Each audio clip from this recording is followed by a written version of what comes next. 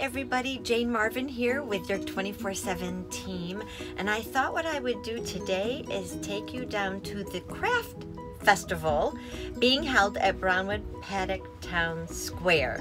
So obviously there's going to be a lot of crafts and a lot of people so uh, we'll take a ride and take some pictures and hope you enjoy it.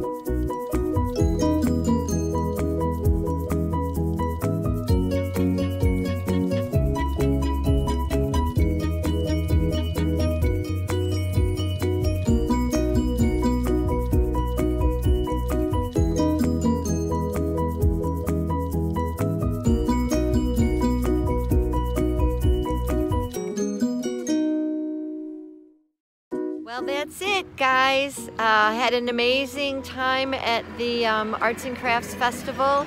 And uh, I'll tell you what, if I were a rich girl, there was some uh, artwork that I would have loved to have put onto my wall, but for another time.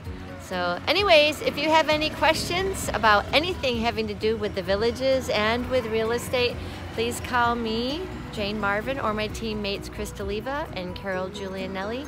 And we are your 24-7 team and we are available to you 24-7. Have a great day.